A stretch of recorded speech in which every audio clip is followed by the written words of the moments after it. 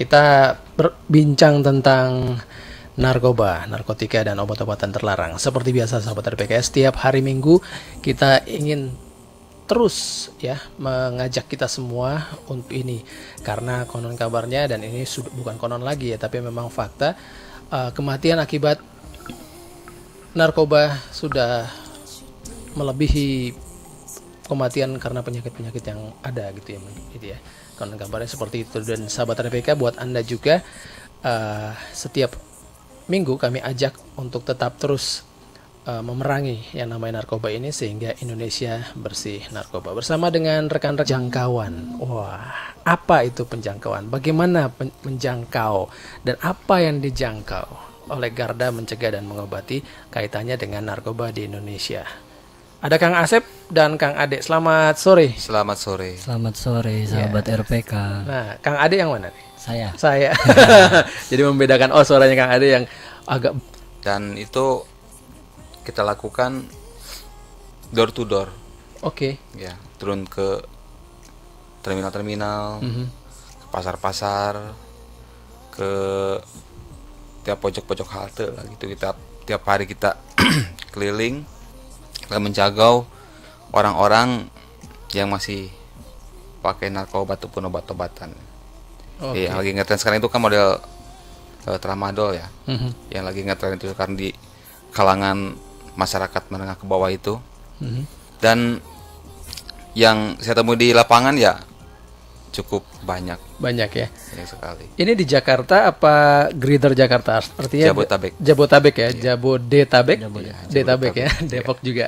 Oke Jakarta Bogor Tangerang Depok dan Bekasi. Ini uh, Greater Jakarta kalau kita bisa lihat ya. Jadi door to door ini lebih istilahnya tuh uh, proaktif ya. Betul. jemput bola langsung ya. ke lokasi-lokasi di mana di Tenggarai banyak penyalahgunaan yeah. narkoba gitu ya. Dan uh, ini yang disasar adalah para pecandu yeah. pemakai dia. Pemakai. Pemakai dan pencandu memang Kang Asep uh, bisa membedakan gitu.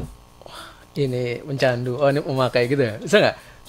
Ya soalnya dari sikap ya mm -hmm. dari sikap terus dari cara dia bicara itu yeah. sangat ketahuan gitu. Kalau orang istilahnya yang make dan enggak gitu. Dan mayoritas kalau orang-orang di jalan itu kan mayoritas ya 75% pakai lah itu mm -hmm. karena mungkin saat terjadi model kriminal ya modelnya gitu ya bertan atau copet atau istilahnya tawuran atau apa gitu mm -hmm. ya mungkin itu indikasinya dari obat tadi itu. Oh, iya. kalau yang tadi yang disebut uh, yang lagi mark sini tramadol ya. Mm -hmm. Kok orang mau sih pakai obat itu?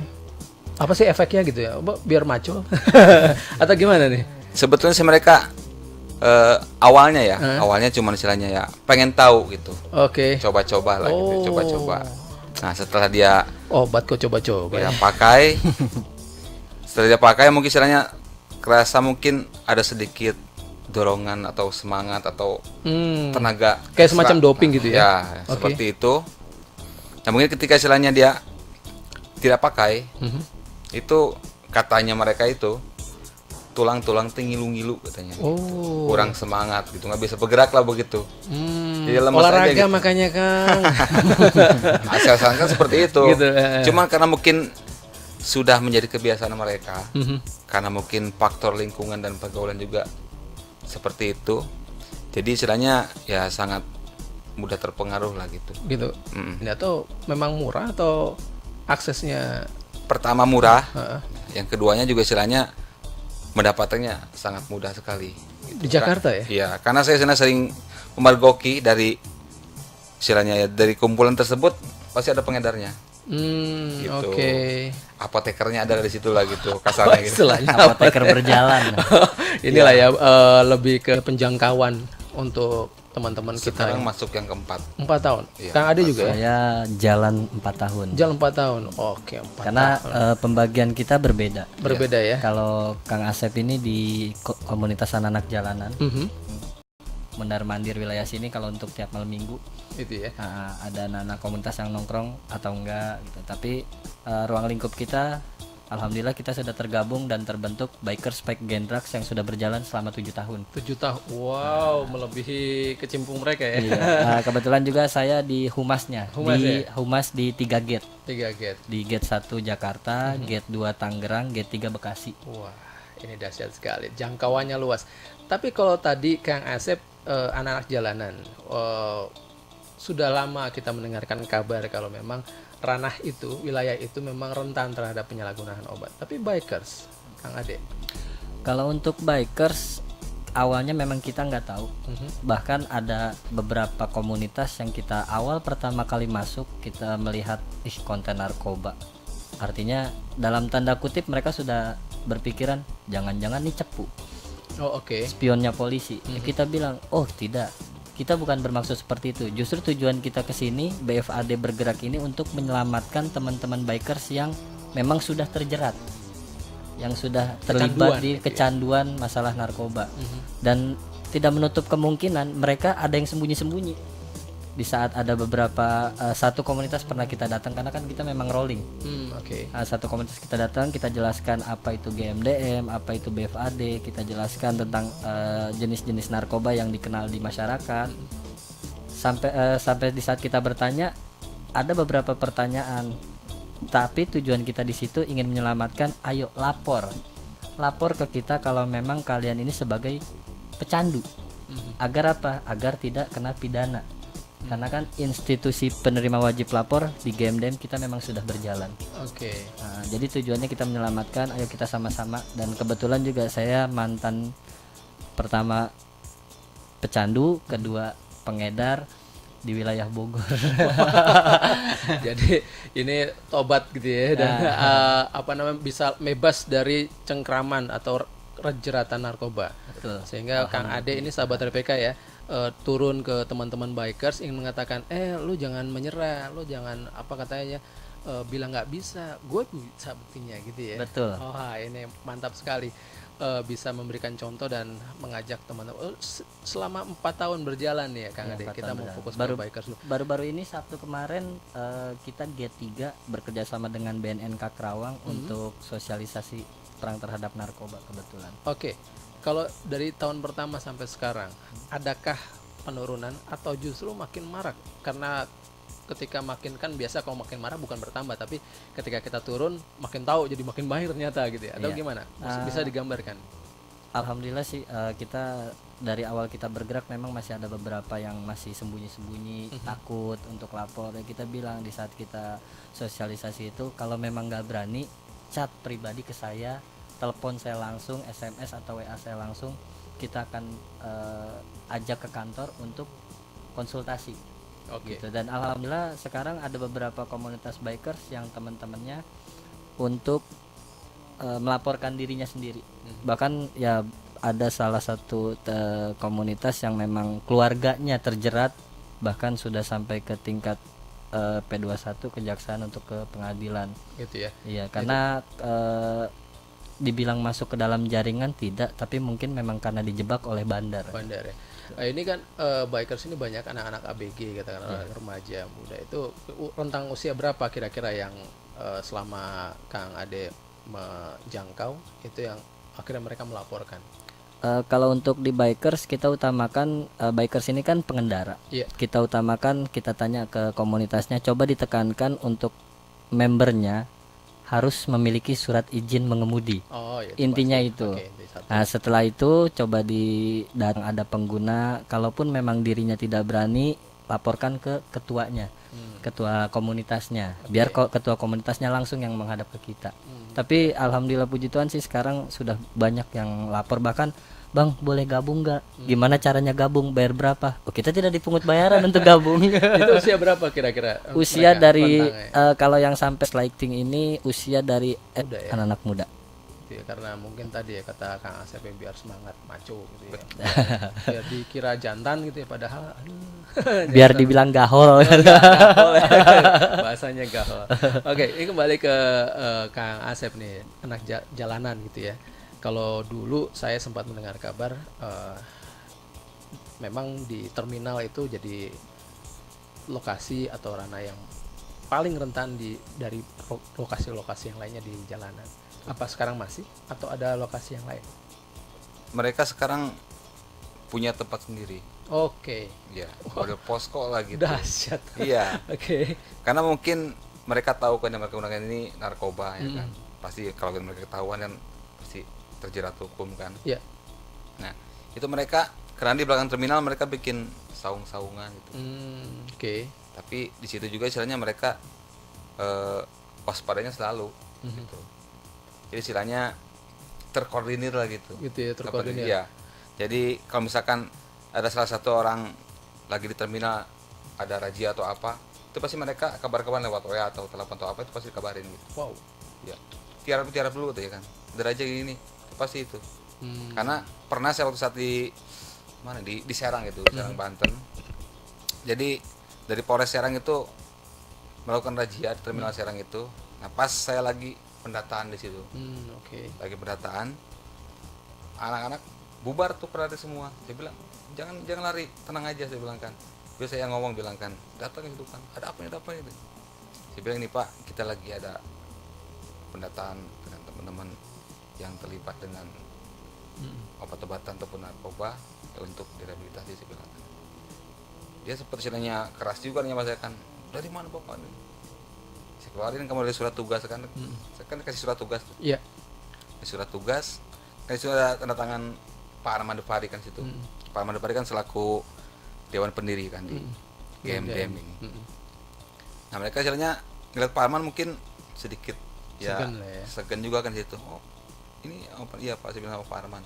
Dari situ mereka istilahnya malah ngedukung balik gitu. Hmm. kalau misalkan di sini ntar ada yang bermain di jaringan kalau bilang itu Pariko sama masih ketemu itu Pariko. Dia kan selalu selaku eh, humasnya di situ humas bimasnya di kota Serang di Polresnya itu. Nanti kita bisa kabar-kabaran Kang nih siapa saya bilang. Nah setelah itu anak-anak jadi ngerasa gimana nggak terlindungi di situ. Oh ternyata istilahnya dengan adanya saya ini bisa ngehandle gitu kan.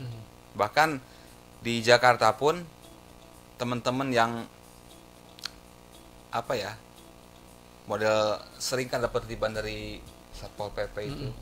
nah kan teman-teman yang saya jangkau kan saya bikinin kartu IVWL itu kan. IVWL itu institusi penerima wajib lapor. Hmm. Nah, wajib lapor bukan istilahnya mereka wajib lapor ke kantor tapi saya yang datang ke tempat nongkrongnya gitu. Untuk istilahnya edukasi masalah keterlibatannya di penyalahgunaan tadi itu Iya, Nah, iya. mereka kadang-kadang nanya, ya kan, situ ini bang katanya, kita pakai punya kartu ini kita bebas pakai gitu. Bukan saya bilang. itu dia. Itu dari tadi saya ingin bertanya itu. Gimana gimana? Bukan saya bilang jadi ini kartu ini saya bilang ini kan kamu ini punya kartu ini jadi kamu tuh jadi klien saya saya bilang. Jadi kalau kamu ada masalah hukum atau masalah masalah dengan eh, kesehatan kamu atau keterlibatan kamu di penyalahgunaan ini bisa koordinasi sama saya begitu. Termasuk rehabilitasi Iya, gitu ya, betul. untuk Kalau bisa itu- keluar dari cengkraman dari narkoba ya. narkoba itu. Mhm. Sepanjang ini puji Tuhan banyak banget teman-teman yang istilahnya yang berubah lah gitu. Berkat GMDM ini gitu. Soalnya ini kan dari penjangkauan ini kita melakukan tes urin. Mhm. Jadi mendeteksi apa yang digunakan si klien tadi. Mhm. Jadi kita kan bisa eh, ngasih tahu dampak obat akan seperti apa gitu kan. Itu terus istilahnya cara pengalihannya terus untuk mengatasinya seperti apa gitu. Teman-teman itu. Ya. Kalau Kang Ade tadi eh, berdasarkan komunitas, bikers ada komunitasnya. Kalau Kang Asep jalanan random atau memang ada kayak semacam klik-klik geng-gengnya gitu. Ada sama Gitu ya? komunitas juga. Mhm. Jadi model di jalan ini kan mereka ada satu komunitas KPJ, KPJ. KPJ kelompok penjalanan. Oh, oke KPJ. Oke. ya itu mereka di tiap eh, wilayah itu model Kalideres, Grogol, Selipi itu lain-lain gitu. Hmm, oke. Jadi mereka punya posko tersendiri gitu di situ.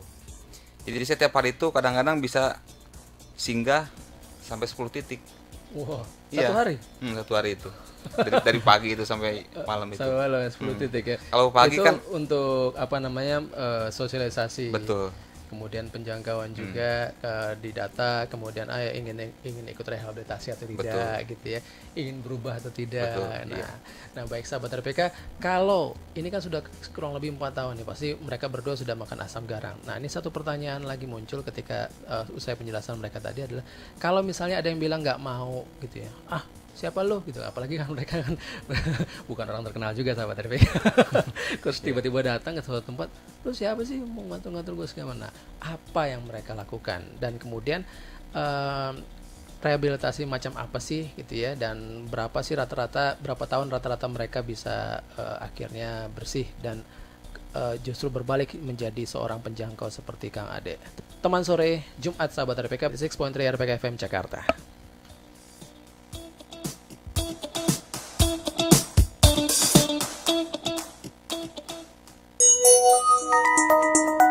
Jam di studio kami menunjukkan pukul 17 lebih 30 menit waktu Indonesia Barat.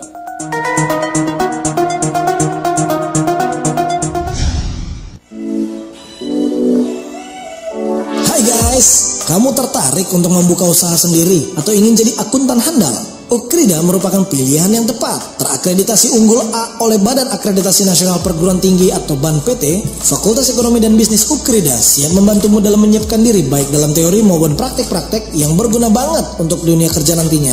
Dengan dua program studi manajemen dan akuntansi, kamu bisa pilih sesuai dengan minat kalian. Buat kamu yang sudah bekerja dan ingin meneruskan kuliah, Fakultas Ekonomi dan Bisnis Ukreda memiliki kelas reguler di sore hari dan biaya kuliah yang dapat dibayar per bulan. Dilengkapi juga dengan berbagai program sertifikasi nasional dan internasional yang juga bekerja sama dengan BEI, Tech Center, dan DJP Kanwil Jakarta Barat. Buat kalian yang memiliki ketertarikan belajar saham atau ingin mengetahui lebih banyak lagi tentang pajak Indonesia, Fakultas Ekonomi dan Bisnis Ukrida memiliki fasilitas seperti galeri investasi dan Tech Center yang pastinya dapat menjawab kebutuhan kalian. Untuk kalian yang saat ini berada di kelas 12, jangan sampai lewatkan potongan biaya SPP 65% dengan mengikuti jalur prestasi nilai rata-rata raport. Jadi, tunggu apa lagi? Bawa raportmu dan daftarkan diri segera di register.ukrida.ac.id atau informasi lebih lanjut hubungi admisi di 021 566 9999 atau di admisi at ukrida.ac.id. Unleash your leadership potential with Ukrida.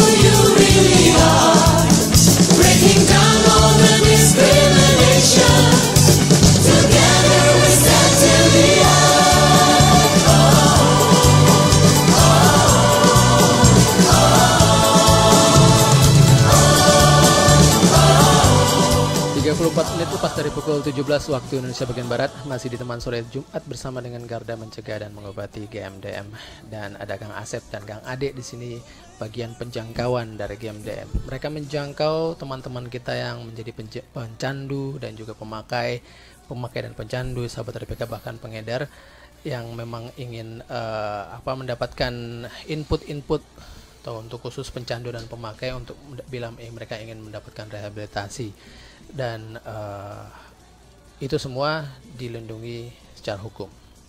Bet- begitu ya? Kang? Betul, betul, Eh, apa nama tentang ada IPWL itu ya? betul. Mungkin bisa disampaikan lagi nih. eh, apa sih katakanlah IPWL ini bisa dimanfaatkan oleh teman-teman yang mencandu dan memakai. Ya. Powell ini sebenarnya eh, punyanya BNN nama Kemensos, ya. Jadi GMDM ini salah satu istilahnya ormas ataupun LSM yang dipercaya untuk eh, menjadi eh, satu IPWL di Jakarta ini. Dan IPWL ini adalah institusi penerima wajib lapor.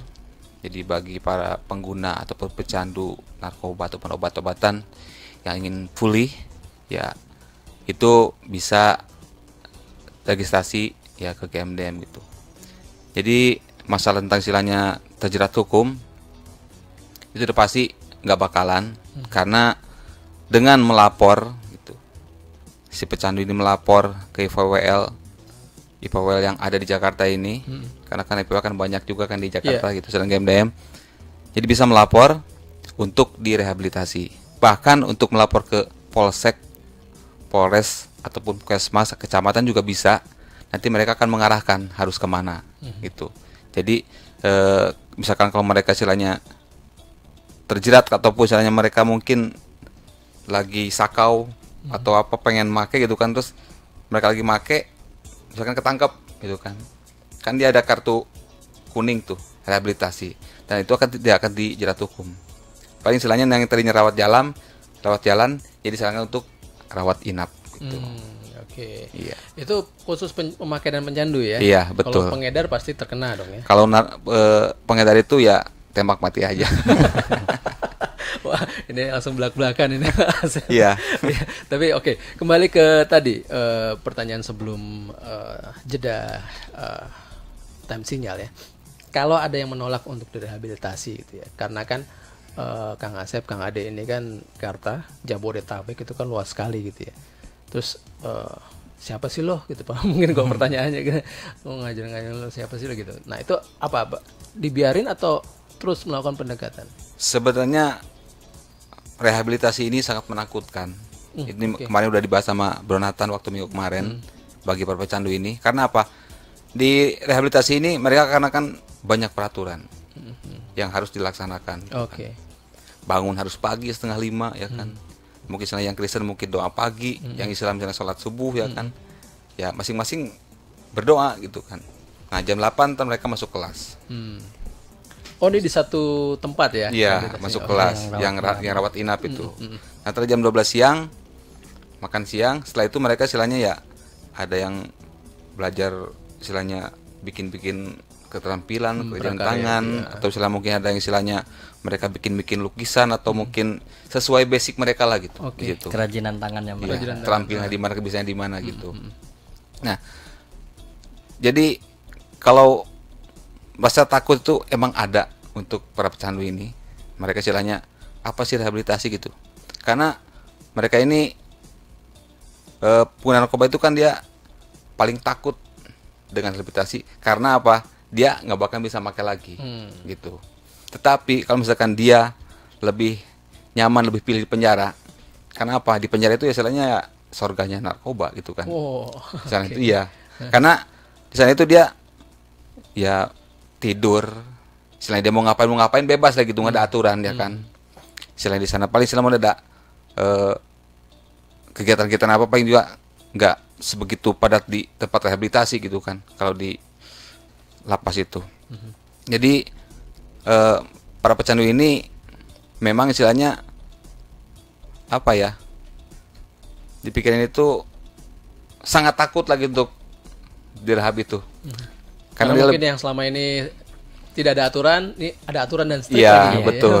Aduh, Heeh. Bisa terasa kok. Iya. Iya iya. Buat kita semua juga yang biasanya santai-santai, tiba-tiba harus diatur ada jadwal segala macam itu pasti akan ada kagetnya gitu ya, Betul, ada betul. apa namanya agak susah dan sulit. Nah, apalagi ini yang udah kecanduan gitu ya. Betul. Parah sekali.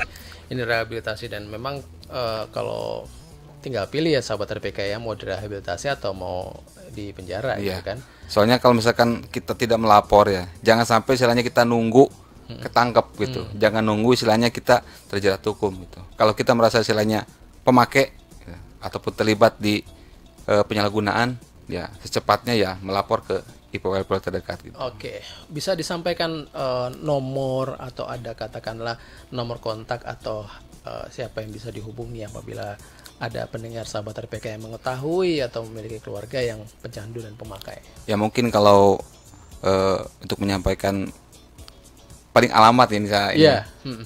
bisa datang ke Pondok Kopi ya komplek Malaka Kon- Malaka Country itu blok berapa Dua- 20 ya Blok D. blok D nomor 20 Oke. dari situ di Google Map juga diklik game dem Ada masih ya? ada Oh, gitu Oke, baik. Sekarang ini Iya. kan eh, ojek online juga langsung aja datang ke situ ya. Iya. Main-main ketemu sama Kang Ade, Betul. Kang Asep kalau ada di situ. Karena mereka ini orang lapangan sahabat dari PK. Solo seluk beluk Jakarta mungkin mereka eh, apa namanya sambangi untuk bisa menjangkau teman-teman kita yang mungkin masih tersembunyi, masih bers- bersembunyi gitu ya. Eh, di apa namanya di komunitas-komunitas mungkin atau di jalanan-jalanan. Nah ini eh, ke Kang Ade nih, Ya. Yang ke bikers ya. Eh kalau mereka kan mobile nih ke mana ke mana gitu. Dan kalau misalnya dan mereka ini sangat kuat sekali teritorinya gitu ya. Karena ada tawuran lah segala macam. Nah ini kesulitan apa sih yang mungkin membedakan penjangkauan di eh, komunitas bikers dengan di jalanan misalnya? Kalau untuk di bikers kita kesulitannya memang ya itu tadi yang pertama saya bilang masih ada yang sembunyi-sembunyi rasa takut. Dan pertama kali kita datang ya memang kita yang tadi eh, penyiar bilang s- kita nggak terkenal. Dan siapa sih lo? Itu Apalagi kalau ini kan Kang Ade dari dari komunitas A misalnya, Iya. terus datang ke komunitas B, oh kamu dari komunitas A gitu kan. Oh, kalau iya, yang saya tahu ya, kalau Iya. bikers itu kan pride-nya tinggi banget Kang. Siapa lu gitu kan? Tapi kita eh, mencoba memperkenalkan diri di depan member-member. Ki- Saya perkenalkan diri saya, siapa saya, dan kalau kita minta izin, kalau memang diizinkan, nah baru kita untuk eh, mensosialisasikan itu. Nah, memang awalnya ada yang cuek, ada yang cuma sekedar mendengarkan kuping kanan keluar kiri, tapi ada juga yang respon. Ya sebenarnya di narkoba ini pilihannya cuma ada tiga, rehabilitasi, Ah. penjara, Atau atau Kuburan. kuburan. ada Nah, ada satu kita lagi kita kita kasih itu, kita kasih gambaran seperti itu. Eh, mungkin yang cuek memang salah satu keluarganya tahu dirinya sendiri belum terdampak. Oke. Tapi setelah terdampak mereka akan bingung. Aduh, anak gua kena narkoba, gua mesti ke mana ini? Seperti itu secara kasarnya. Ya paling kita bilang kita bukannya nyumpahin atau gimana, tapi bu, saya sudah bilang kemarin.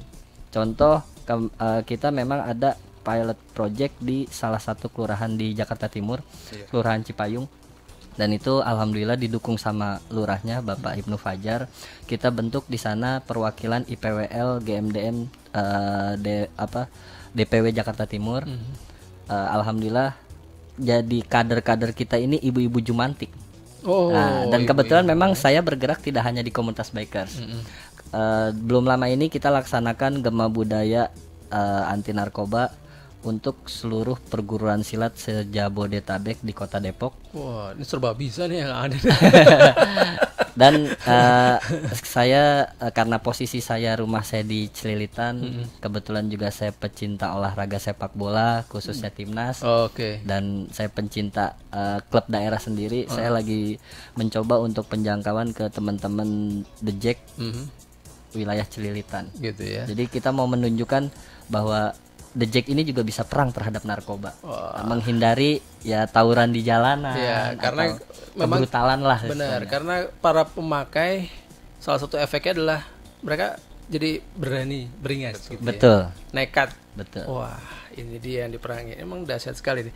Kalau Kang Asep tadi tahu cara penanganan tentang eh, anak-anak orang-orang di jalanan yang keras itu nah Kang Ade ini serba bisa kayaknya. Oke tapi tentunya mereka nih sahabat RPK ya eh, empat tahun berkecimpung di dunia penjangkauan pasti ada suka dukanya dong ya.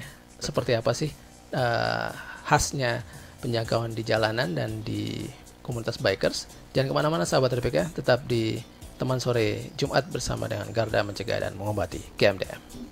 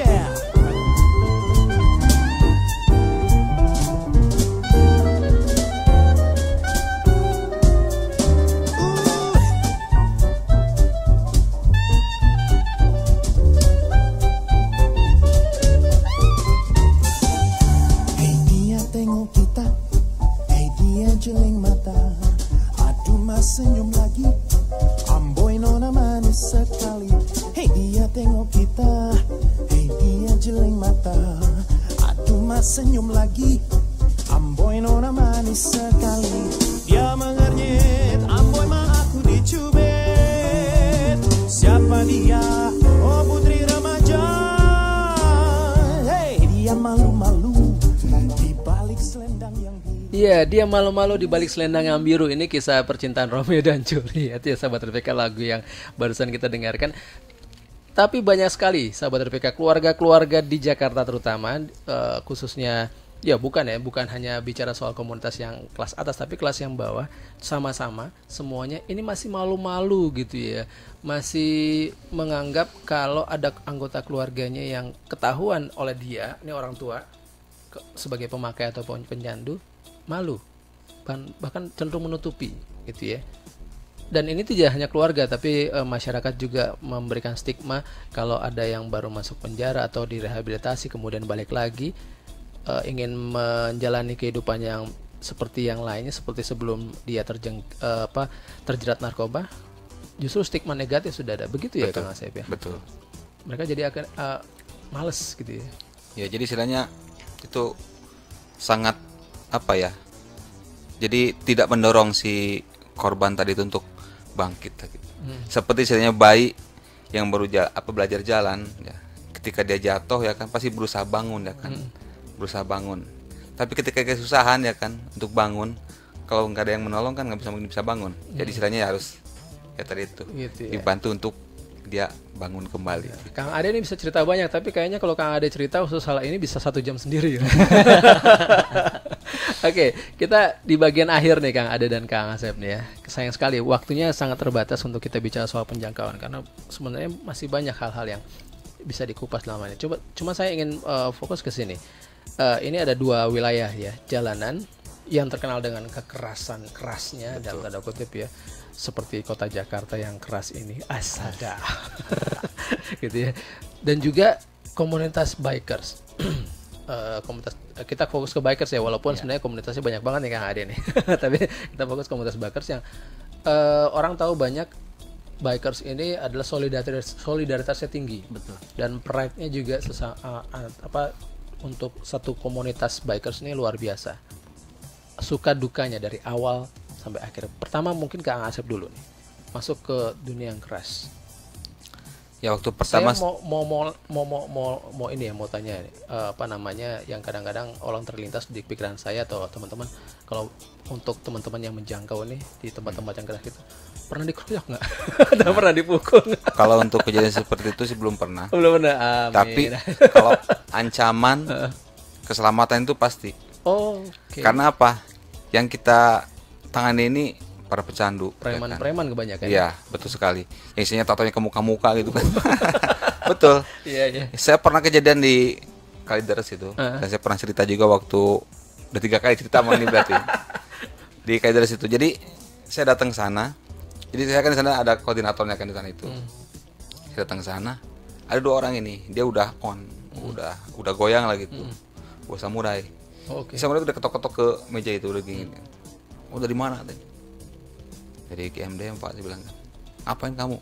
Narkoba narkoba di sini. Kamu cepu ya? Bukan Pak dia bilang kan. Coba lihat KTA kamu. Diperiksa saya. KTA, KTP, sampai handphonenya di Iya. sama dia kan. Periksa-periksa sama dia kan. Sampai diklik itu GMDM itu kan. Oh ada katanya resmi katanya. GMDM kan ya.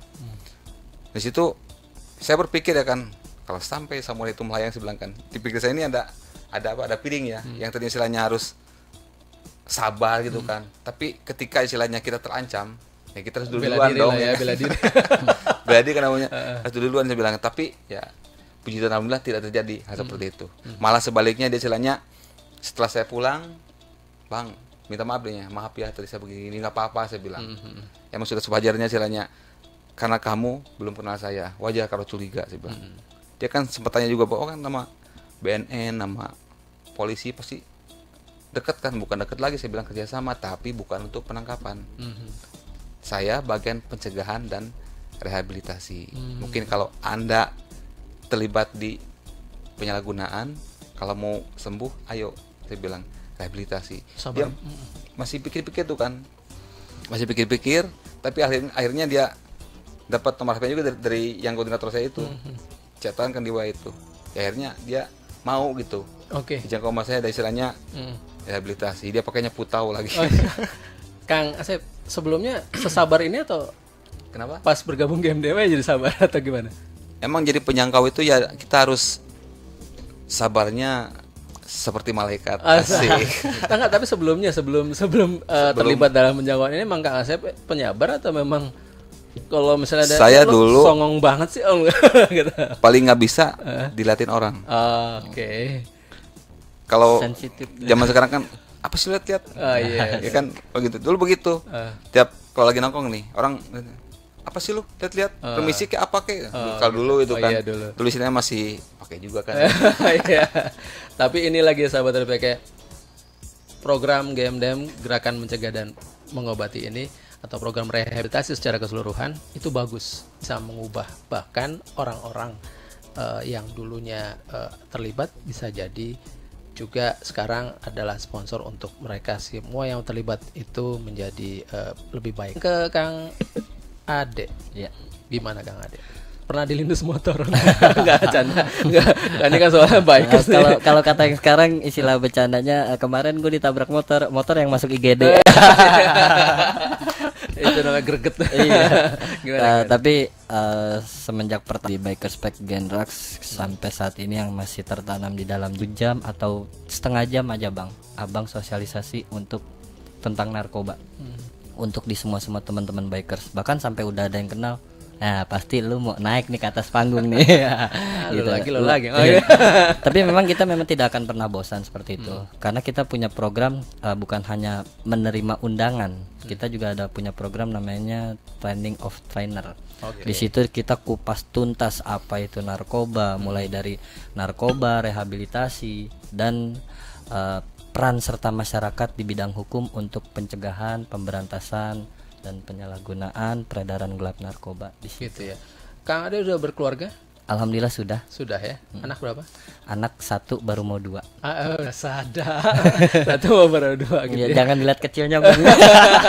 Enggak maksud saya mereka mendukung ya geraknya gerak eh, aktifnya Kang Ade di Eh, dari saya saya bergerak saya menikah baru satu tahun. Mhm. Eh, selama ini saya minta restu sebelum di GMDM saya bentuk komunitas Betawi Ningrat Community minta restu eh, kedua orang tua. Berkat restu orang tua saya bisa bergerak sampai saat ini. Wah, dahsyat sekali. dan istri pun mendukung sangat mendukung. Ka- karena kapan lagi siapa lagi yang mau menyelamatkan keluarga sendiri Ah, itu dia ya. Kalau Kang Asep sudah berkeluarga, oh ya pasti punya cucu. Oh enggak belah. Sorry, canda. Gimana? Kalau saya anak baru dua, Hmm. mau nambah istri nggak boleh. mau ganjil genap Ganjil kan. Tapi sampai saat ini, ketika saya pulang kampung ke Sukabumi, Heeh. keluarga nggak ada yang percaya bahwa saya udah berubah. Oke. Nggak ada yang percaya. Saya tahunya masih sering berantem, Oke. masih sering mabok-mabokan. gitu. Karena saya di kampung itu biang kerok. Ini kayak Bang Ben juga Ya, dulu ya. Benyamin biang kerok biang kerok sampai istilahnya Pak RW sendiri pernah kan saya di pas pintu masuk ada joglo tuh. Mm. Saya itu kan tulisan apa Pandawa 5 Oh, benar lima. nama geng saya itu Pandawa 5 Pak RW lewat situ kita lagi nongkrong lu orang bukan Pandawa 5 itu Pandawa Rese katanya gitu RW bilang ya dulu itu kan. Gitu ya. Tapi tetap ya rese-rese udah berubah dong. Jadi Betul. lebih baik ya rese. Dan itu keluarga pasti mendukung ya. Amin. Nah, saya banyak, banyak banget. Walaupun memang ini ngeri-ngeri sedap nih berhubungan dengan teman-teman yang rentan terhadap penyalahgunaan narkoba ya. Betul. Uh, karena apa saja bisa terjadi, tapi tentunya dengan restu orang tua tadi, keluarga juga dan dukungan dari masyarakat, apalagi yang super duper dahsyat, mereka bisa tetap terus sampai saat ini empat tahun dalam dunia penjangkauan. Bagi sahabat RPK yang memang uh, ingin terlibat di, wah kayaknya gue ter- terpanggil nih untuk jadi staf penjangkauan juga nih. Boleh atau gimana? boleh Boleh ya. boleh sekali Mantap juga karena kan memang kalau tadi yang bisa dipelajari dari apa yang disampaikan oleh Kang Ade adalah betul sampai tadi ya kita bisa diam kalau Indonesia bersih narkoba. Nah, kita tidak akan pernah tinggal diam Eh, Enggak, kita bisa diam Ah. kalau Indonesia bersih narkoba. Ada. Ini positifnya kan gitu. iya betul, betul. kita kita bisa diam Jadi kalau mau diam Indonesia mesti bersih narkoba dulu. selama bel- selama belum ber- eh, seperti apa dan bagaimana Anda juga bisa kunjungi websitenya di mana? di GMDM for Nation GMDM for Nation. mungkin kalau ada yang mau kontak eh, pribadi saya juga boleh dicatat Oke. Eh, 0877 1106 triple 09 AD Humas BFAD Oke. Sekali lagi nomornya. 0877 1106 triple 09 Oke. Kang Ade. Masih Ade tapi udah jadi bapak. Baik, terima kasih Kang Asep, Kang Siap. Ade dan juga teman-teman dari GMDM Gerakan Mencegah dan Mengobati Eh, untuk bangsa ya. Kita tidak akan tinggal diam kalau Indonesia belum bersih narkoba. Amin Baik sahabat RPK, terima kasih buat kebersamaan Anda, atensi Anda untuk mendengarkan kami adalah sumbangsih walau kecil tapi sangat dahsyat buat Indonesia bisa menuju pada negeri atau bangsa yang bebas narkoba. Karena bagaimanapun juga sahabat RPK kalau bukan kita siapa lagi gitu ya? Dan kalau bukan sekarang. sekarang kapan lagi? Asik. Saya Yansen undur diri. Terima kasih atas atensi anda. Selamat menikmati program-program kami selanjutnya. Stay tune on 96.3 RPK FM Jakarta